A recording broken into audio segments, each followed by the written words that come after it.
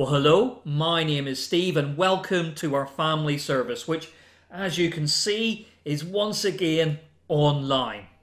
And even though we can't be together in person, it's great that we can meet on YouTube and worship God together. Now, this term, we're going to be learning about the story of Jesus in Luke's Gospel. Luke wanted to tell us all about this person, Jesus, and he wrote about what Jesus did when he was on earth, what he was like, who he was. And that's what we're going to find out as we go through Luke's Gospel. And we're going to start with the story of Jesus calling some of his first disciples, calling them to follow him and be with him. Now, I wonder if you can guess what these first disciples did for a living. I've got a few clues here to help you. Um, I've got a little boat. Who might use a boat? Um, I've got something, you might not be able to see it too clearly there. It's some nets, and I've got some fish. So who might use a boat and nets and some fish? Any idea?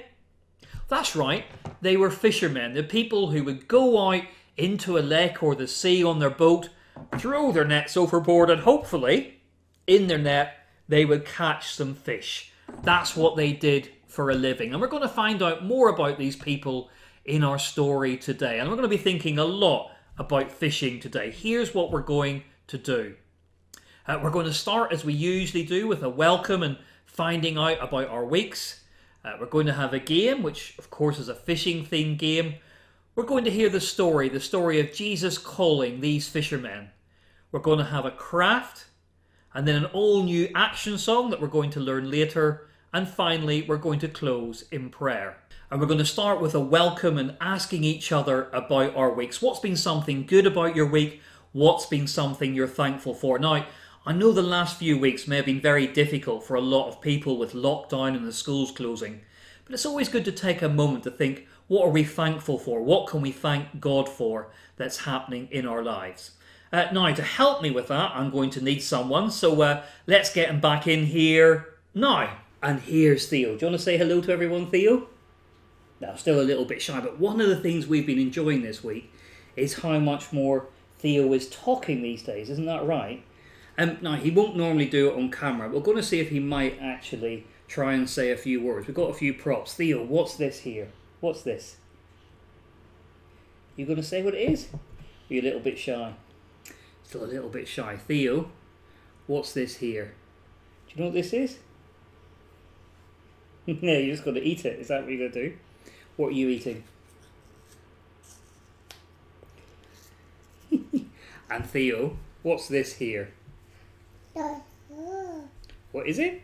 Yeah, Yeah. it's a dinosaur. That's right. Well, one out of three, we'll give you that on camera, won't we? Should we say bye-bye? Bye-bye. And just like that, he's gone again. Well, now it's your turn to go around the people where you are and ask them what's been something good about your week what's been something you're thankful for. And while you take a moment to do that, why don't you pause the video and then press play when you're ready to carry on. So ask each other and pause the video now. And hopefully you got a chance to go around and find out some of the good things about your week, even at a difficult time like this. And of course, now that we're going to be online for the next few weeks, it will be great to see your pictures and your videos, what you've been doing during the week, what you've been thankful for. So if you'd like to, it'd be great to send them in to me and I can share them in this blank spot here so we can still find out what we're up to and still see each other even though we can't be together. So please do send in your photos and videos. Now, we're going to have our game and as I promised earlier, it's a fishing game.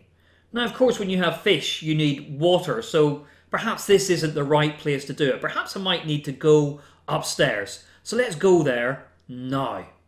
And here we are in our bathroom. Here we can have lots of water in our bath. Now we've got water, we just need some fish. And this is going to be our fish, which is just a sort of partially half blown up balloon. So I'm going to add the fish here to our water, our sea or lake. You'll see we've got a few other things in here as well. We've got our little boat, an octopus as well. Now this game's quite a simple one. The idea is to see how good you are at fishing.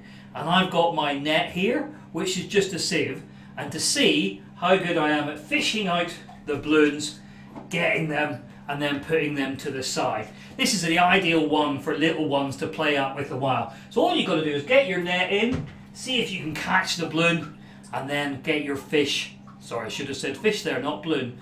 Get your fish and put it out. See how good you are at catching the fish. Now, if you're a really little one like Theo, this is more fun if you actually get in the bath and play it. He had great fun doing that last night. And if you're an older one, you're thinking this might be a little bit too easy for me. Well, don't worry, we've got a harder fishing game in the craft, and we'll tell you about that later. Now, as I said earlier, this term we're going to be learning all about Jesus in Luke's Gospel. And we're going to start today with the story of Jesus calling some fishermen in Luke chapter 5. And we're going to hear that read to us now by Alexandra. Uh, Alexandra, over to you. A reading from Luke's Gospel, chapter 5.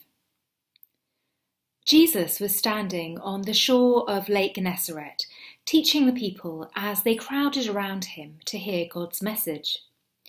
Near the shore, he saw two boats left there by some fishermen who had gone to wash their nets. Jesus got into the boat that belonged to Simon and asked him to row it out a little away from the shore. Then Jesus sat down in the boat to teach the crowd. When Jesus had finished speaking, he told Simon, Row the boat out into the deep water and let your nets down to catch some fish. Master, Simon answered, we have worked hard all night long and haven't caught a thing. But if you tell me to, I will let the nets down. They did it and caught so many fish that their nets began to rip apart. Then they signalled for their partners in the other boat to come and help them. The men came, and together they filled the two boats so full that they began to sink. When Simon Peter saw this happen, he knelt down in front of Jesus and said, Lord, don't come near me, I'm a sinner. Peter and everyone with him were completely surprised at all the fish that they had caught. His partners, James and John, the sons of Zebedee, were surprised too. Jesus told Simon, Don't be afraid. From now on, you will bring in people instead of fish. The men pulled up their boats onto the shore. Then they left everything and went with Jesus. Thanks, Alexandra. And we're going to have a look at that story we've just heard read to us. Well, except the text place by a lake, so I think we need to do it by a large amount of water. Uh, I think we're going to have to go to the bathroom again. Let's go. Perfect. Well, here we are back in our bathroom again for our story. And the story begins with Jesus by the shore of a lake. Well, here's our little wooden Jesus, and our bath is going to be our lake, Lake Gennesaret. So here's Jesus on the shore of the lake preaching to the people. And as well as Jesus and the big crowd listening to him, there are also two boats here. Here's one boat, there's another boat. And these were groups of fishermen they belonged to who'd been out fishing all night. And actually, they hadn't caught anything, so they must have feeling tired and fed up. There's two of our fishermen there, there's one of our fishermen here. So they just come in from fishing all night and were washing their nets. Here's their net at the side. And they must have been feeling absolutely knackered. Now, Jesus asked one of these fishermen, Simon Peter, if he could go out in his boat into the lake a little way. That way people could hear Jesus better. And uh, so Simon Peter agreed. So he and Jesus went out into the lake on Simon Peter's boat. So let's put Simon Peter there and let's put Jesus there. And Jesus sat down in the boat and began teaching the people. Here we are, we can see Jesus and Peter on the boat. Now, when Jesus had finished preaching, he said to Simon Peter, Go into the deep water let down your nets and catch some fish. Well, Simon Peter must have wondered what was going on. I mean, he was the experienced fisherman. He'd been fishing all night and he'd caught nothing. And this was now the wrong time of day to be fishing. And this guy was telling him what to do and he was exhausted. I mean, Simon Peter told that to Jesus, but he also said, Okay, Jesus, if you say to do it, I'll do it. So that's what he did. They pushed out the boat a little deeper into the lake and let down their nets and you know what? The nets became full of fish. So let's put some of our fish, our balloon fish, into the net here. Their nets, in fact, became so full that they were actually beginning to rip. You can see now we're full of fish in our net here as well. and they were struggling to bring it in. So here was Simon, Peter, and Jesus in their boat, and they called out to their other fishermen, Come and help us. So the other fishermen came out in the boat, and between the two boats, they brought it into shore, even though their boats were beginning to sink. This massive catch of fish they caught by fishing where Jesus told them. And when they were back at the shore, Simon Peter knelt down before Jesus and said, Lord, don't come near me, I'm a sinner. And Peter and the other fishermen here, James and John, were amazed at what Jesus had done, this amazing catch of fish. And Jesus said to them, Don't be afraid. From now on, instead of catching fish like this here, you're going to be catching people. You're going to be bringing people into my kingdom. So Simon Peter, James, and John left everything behind their boats, their nets, everything and followed Jesus. They'd seen this amazing person and wanted to follow him. And that's the story of Jesus calling Simon Peter, James, and John. Now let's get back to the table. So today's story was all about these ordinary fishermen Simon Peter, James, and John. And when they were called by Jesus, they left everything behind and followed him. These men saw how amazing Jesus was, this person able to bring in this huge catch of fish, and so they decided to follow him. And Jesus was going to use these ordinary fishermen to do something incredible. Now, they were used to catching and bringing in fish in their nets. But Jesus said, now instead of catching and bringing in fish, you're going to catch and bring in people. You're going to bring in people to the kingdom of God. Bring in people to Jesus' movement. These ordinary people Jesus was going to use to do something incredible. And that's the same with us. If we follow Jesus, if we're guided by him, he can use us to do amazing and incredible things. If we follow Jesus, he can do something special with us.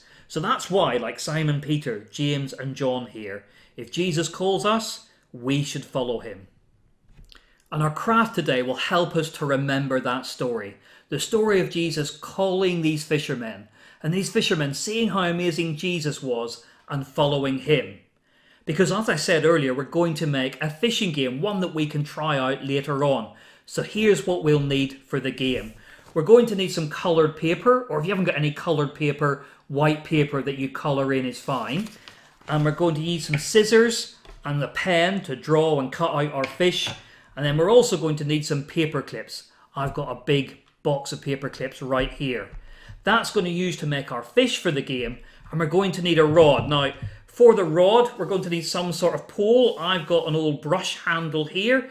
You can use anything you've got around. It's just a stick or uh, any length. We're going to need some string for our line on our fishing line. Uh, we'll probably need some sellotape to hold it all in place. And the bottom of our fishing line, we're going to need a magnet. Now you can use a fridge magnet or a magnet from something you've got. I've just ordered one online, but any magnet will do. So once we've got all these things, we're ready for our fishing game. Let's find out how to make it now. So we're going to start by making our fishing rod. And the first thing you'll need for that is your string. It's going to be the line on the rod. And you want to roll out, I'd say about 50 centimetres off the string, which is about that amount there. So cut off about 50 centimetres, maybe a little more to allow for tying knots. And there we have our line. Now we need something to catch our fish, and that's the magnet. So we're going to tie our magnet to one end of the line. So let me just tie this magnet on here. Now you want to be a good tight knot, a couple of good knots, knots on that to make sure it won't fall off. So we have our magnet tied on the line and I'm just going to cut off the bit of string at the end to tidy it up a little bit. So that is our line with our magnet for catching our fish and then we need to tie it to the end of our rod here. So again, just put a knot in. If you can't do knots very well, get an adult to help you with that. A couple of knots there to keep it good and strong and make sure it stays in place. And I'm just going to tie that knot there. Now, for this bit, it might not just be enough to have it held on with a knot. So I've also got to put on some sellotape to make sure that it stays on the end here and maybe a couple of bits of sellotape just to keep it in place because you don't want it moving around you want to be able to control it for the fish so you'll see we have our line and we have our magnet on the end So that's our fishing rod. I'm going to set to one side. Now we need to make some fish. And for that, we're going to need some coloured paper, our scissors, and our paper clips. And this bit's really simple. What you need to do is to draw a fish shape on here. Something that's a bit like this here. So I'm going to do sort of comes out and then comes in and then goes out into the tail. It really doesn't have to be that accurate. You can see mine there, what it looks like. And then you want to cut out this fish shape. Or if you want to cut out more than one at a time, you can even pile up your pieces of paper and cut them out. So let me cut out our fish shape here. Or in this case, I'm going to do two fish shapes. And you want to keep drawing lots and lots of uh, fish. You want to have lots of fish ready for the game. So if I cut out its tail here, and do that there, and then do the top side. Again, we don't have to be super accurate in this. That's the great thing about this game. We just need something that looks fairly fish-like, like my two fish here. And then the final bit of this is to take a paper clip for each fish. So I'm going to need two. Here we are. And, oops, get another one out there. Take the paper clip and put it on the nose of each fish. That's going to be the bit your magnet is going to use to catch it.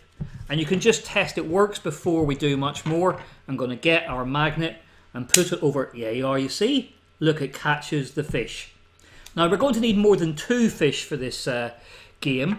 So what we're going to do is I'm going to leave you uh, to cut out and to put paper clips in the nose of several fish. I mean, however many you want, I'd say about eight or ten. That will give us a really good game.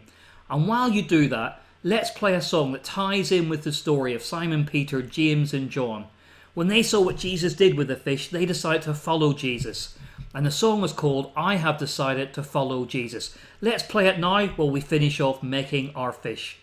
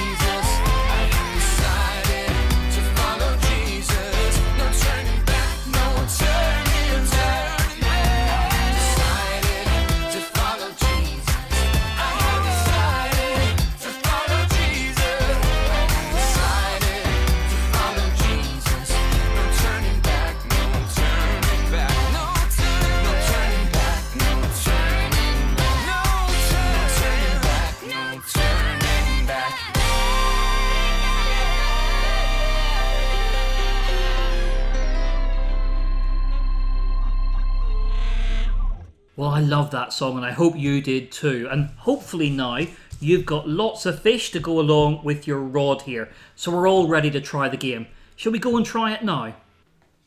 So here we are at my sea or lake. I've just used a blue tile to put the fish on. You could use anything you want, a paddling pool, a blanket, a sheet, whatever it is that makes it look like a sea or a lake. So what we've got to do is to take our rod and see here if we can catch a fish. And you do that by placing the magnet over its mouth and hopefully it ah, catches just like that one there. That's how you do it. Well, why don't you build the game yourself and try it out and see how many fish you can catch. I'm going to try and see if I can get a green one now. Let's try it out. Yes, there we go. Perfect. And now I think it's time to get moving, get our hands moving around with our action song. And because we're not in church together, we're in our own homes, that also means that we can sing along as loudly as we want. So really belt this song out when we come to singing it together. Now, this might be a new song to many of you. It's all about Jesus and it's called No, Not One. And the only action you really need to know for it this first time out is No, Not One. We'll be doing that a lot in the song. But I'm going to hand over to Sarah now, who's going to guide us through the actions and the song. Uh, over to you, Sarah.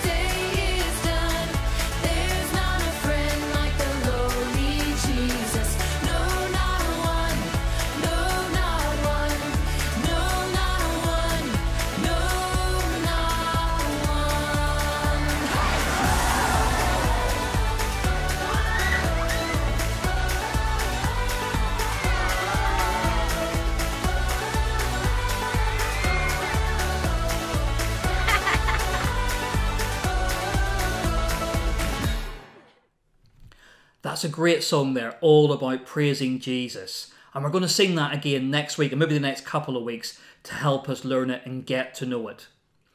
Now, we're going to finish our service today with prayer.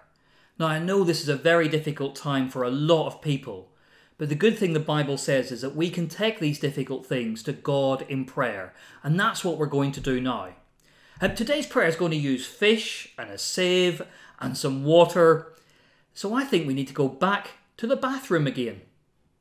So here we are back in the bathroom with the bath full of water and our balloon fish as well. Now what we're going to do for our prayers is that on some of these balloons or fish is written something that we can pray for. So I'm going to use my net here to get out a fish and we're going to pray for whatever's written on it. Uh, let's start with this one. What's written on the side of this? This one is the NHS. So let's pray, first of all, for the NHS. Lord, we thank you for our NHS and the doctors, nurses, carers, and other staff who work there. We pray for them at this difficult time as they become busier and busier. We pray you would give them a chance to rest, unwind, and escape, and help them cope with the long and demanding days. We pray for the pressure to ease as people get better and fewer people would catch coronavirus. Okay, so that's our first prayer for the NHS. Let's see if we can get another one. I'm going to go for this balloon here, and this balloon has written on it schools. So we're going to pray for schools. Let's pray for them. Lord, we pray for our schools and the teachers and staff there. We pray you would give them strength as they've had to quickly adjust to lockdown and providing online lessons. We pray for the children too, missing seeing friends at schools and missing out on lessons. And we pray for parents and carers who are homeschooling. Help them all to know you are with them. So that's schools. And let's do one more. I'm going to get out this one. The little green fish here. And what does this fish say on it? It says on it, church. So we're going to pray for our church. Lord, we pray for our church. Even though we can't meet together, we pray we still be able to worship you and help us to stay connected, especially those living on their own. Now, if you agree with all these prayers, just say Amen with me at the end. Lord God, we ask all these prayers in your name. Amen. And let me finish our time together by praying this prayer of blessing for us all. The Lord bless us and keep us. The Lord make his face to shine on us and be gracious to us. The Lord turn his face towards us and give us peace. Amen. Well, thank you for joining with me today as we looked at the story of these fishermen, Simon Peter, James, and John, and how they decided to follow this amazing Jesus. And I hope you can join us next week when we're looking at another story about Jesus in Luke's Gospel. Uh, until then, I hope you stay safe and well, and goodbye.